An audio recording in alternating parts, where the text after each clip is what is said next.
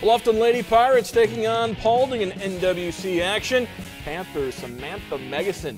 Nice pass on the fast break. Lays it in for the visitors. Lady Pirates go to Kylie Weiss. Finds the hole and gets the shot up and in. More from the home team.